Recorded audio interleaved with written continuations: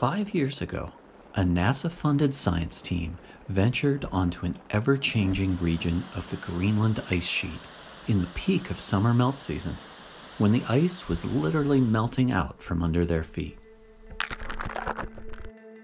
What they learned is changing the way we think about the movement of ice sheets, and possibly changing our computer models that predict how fast ice will melt, a question which matters to every coastline on the planet. The number one reason we are here is all about global sea level rise. Greenland is the single largest melting chunk of ice in the world. What really matters to the world is how much of that water melted on the ice sheet gets out to the ocean. In order to collect this data, the team had to first transport scientific equipment and survival gear to Greenland, and then travel via helicopter to set up camp in the ablation zone, a region of melting ice. Camping out here logistically is very difficult. We're camping in the ablation zone. It's very wet, as you can see. The ablation zone is where it is melting over the summer. Even talking to the logistics coordinators, they're very interested in our camp because they're trying to learn things about how do you camp in the ablation zone. One lesson is to be quick and nimble. The team had to evacuate from the first spot they scouted because the surface started melting right under their camp. So, what big science questions are at the heart of this bold undertaking? In 2015, when we started this study, there was surprisingly little attention paid to the hydrology of streams and rivers on the ice sheet, especially inland away from the ice edge. And we felt that this was a critical scientific gap just from looking at satellite images of the ice sheet. It was very apparent that very large volumes of meltwater were moving through these systems. And one of the things we learned uh, is that the total volume of water passing through these river systems far exceeds the volume of water contained by lakes. Much like the terrestrial land surface, you know, lakes catch your eye because they're so big, but the real action, the real flux is through the rivers. All of these rivers terminate in a stunning and dangerous feature called a moulin, which is a essentially a sinkhole in the uh, glacier surface that develops when these large rivers melt down into the ice to a point where they encounter uh, a crack of some type. At that point, the river is captured and it ceases to flow over the surface of the ice sheet and instead plummets down into the interior. And this year, we mapped 538 of these very large blue rivers and showed that every single one of them terminates in one of these moulins. So water that's melted on top of the ice sheet is quickly and effectively gathered and transferred through these branching stream and river network systems. They are swept off the surface of the sheet within a matter of a few hours or even less and ultimately emerge 80 kilometers from here at the ice edge.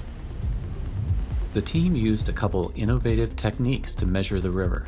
First, working in shifts, they measured stream flow for 72 straight hours using an instrument mounted on a boogie board that uses sonic beams to measure the depth of the water and the speed of the current. To do this, they had to climb out to the very edge of the water. Basically, the most important here is that we all come back home. The reason why this is a dangerous place is because only a couple of 100, 200 meters downstream of where these guys are working right now is a moulin.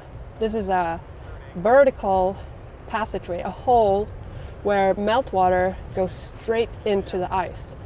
You see this uh, river behind us. This blue river flowing very fast, very powerful, very cold, if one of us would fall into this river without being secured to something, we would just flow like a little leaf into that big hole, and that's it. By far the best solution to ever having to deal with someone taking a spill is to make it impossible for them to fall in in the first place. So the way we do that is to put them on a leash, where the leash is exactly long enough to get close to the water's edge, but not one inch more. In addition to measuring stream flow with instruments on boogie boards, they also flew several kilometers upstream to three different tributaries of the Study River and deployed the last three autonomous drifters built by the late scientist and engineering wizard Alberto Behar.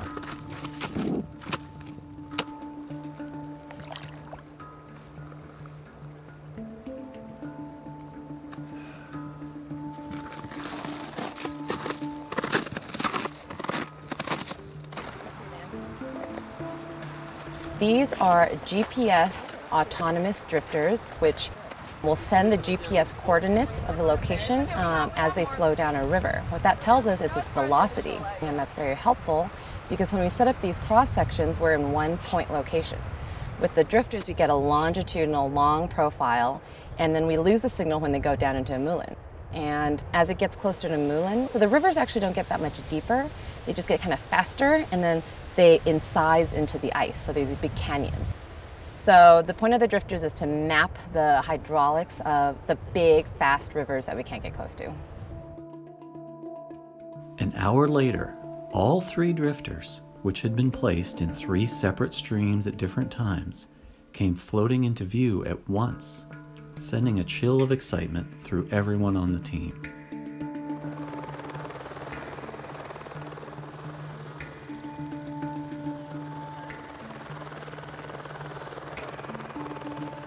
After analyzing their hard won 2015 data, the team was a bit puzzled by one thing.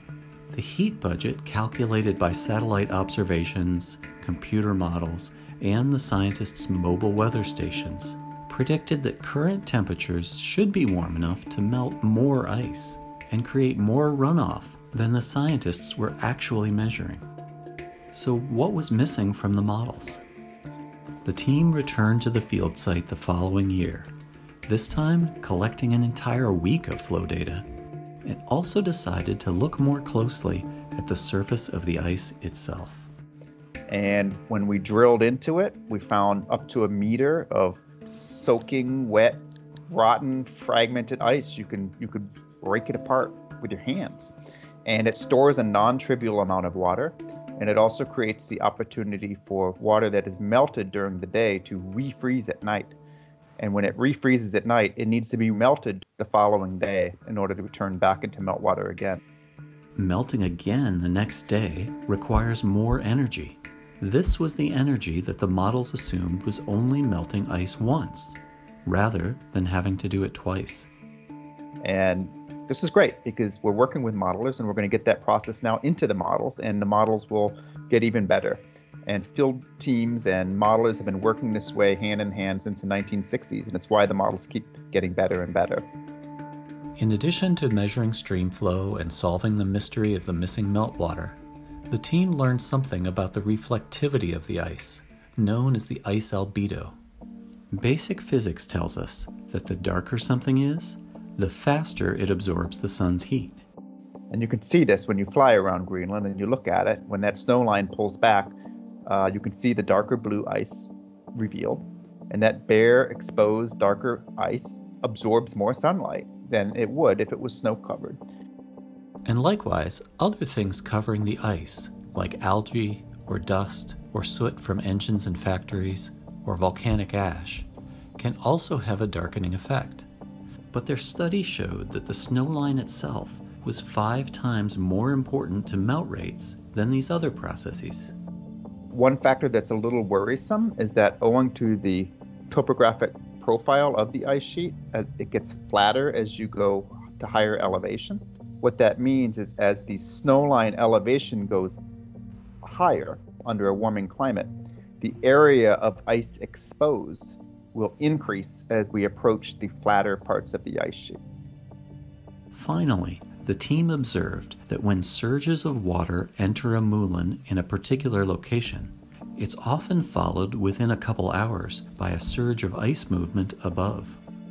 That meltwater can act like a layer of lubrication and allow regions of the ice sheet to slide more rapidly.